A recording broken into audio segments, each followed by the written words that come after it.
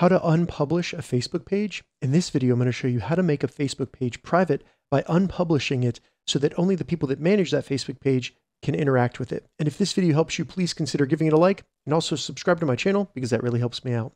And if you're looking to do this on a desktop browser, check the description because I'll have a tutorial there. All right, so to unpublish a Facebook page, we first need to open up the Facebook app, then select the menu button in the bottom menu, and we just need to switch to the profile for the Facebook page we want to unpublish. So most likely you're currently on your personal profile.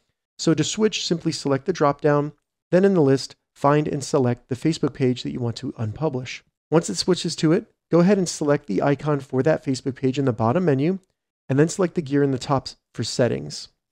Now that we're in the settings, scroll down to the Your Information section and select Access and Control, and you'll see Unpublished Page. And as you can see, this is temporary, and only you and the people who manage that page will be able to see and edit the page.